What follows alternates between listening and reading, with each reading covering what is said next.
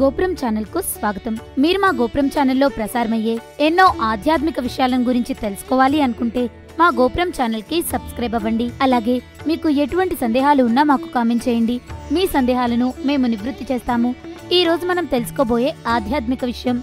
గవ్వల వలన ఎన్నో ఆధ్యాత్మిక ఉపయోగాలు అన్న ఆధ్యాత్మిక విషయం గురించి తెలుసుకుందాం. పిల్లలకి దృష్టి దోష నివారణకు గవ్వలను వారి మెడలో కానీ మొలతాడులో కానీ కట్టాలి. కొత్తగా కొన్న వాహనాలకు నల్లని తాడుతో గవ్వలని కట్టి దృష్టి దోషం లేకుండా చేసుకోవచ్చు. గృహ నిర్మాణం సమయంలోనూ ఎటువంటి అవాంతరాలు రాకుండా గవ్వలను ఎక్కడో ఒక చోట కడతారు. కొత్తగా ఇల్లు గృహప్రవేశం చేసేవారు.